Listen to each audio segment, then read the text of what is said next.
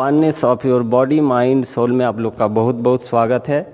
आज एक विशेष आदमी से भेंट करने के लिए जा रहा हूँ, जो आप लोग को बताएगा योग से क्या क्या उसको लाभ मिला है। पहले क्या था और अभी क्या उसमें लाभ मिला है?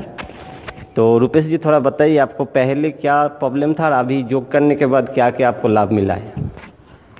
ओम, मेरा नाम रुपेश शर्मा है और एक साल पहले मुझे बहुत मतलब अच्छा नहीं लगता था और गैस्ट्रिक प्रॉब्लम भी था और बहुत तरह की प्रॉब्लम्स थी, लेकिन यह साल भर हो गया योगा करते, मुझे अब अच्छा लगता है और मुझे इस तरह की कोई प्रॉब्लम नहीं है।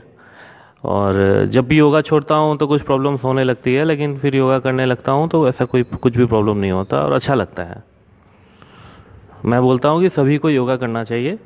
योगा करने से शरीर स्वस्थ रहता है और मानसिक रूप से भी इंसान स्वस्थ रहता है, ये एक बहुत बड़ी बात है।